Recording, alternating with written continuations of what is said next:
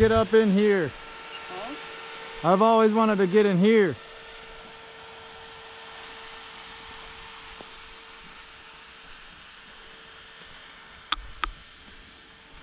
Wouldn't this be fun? Looks like it. I'm sure we'd get in a lot of trouble, so I'm probably just gonna leave that alone.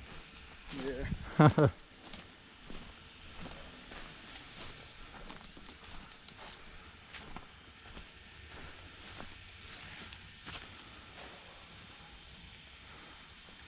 But if you look on the map, there's trails all the way around on the other side of this place here. Hmm.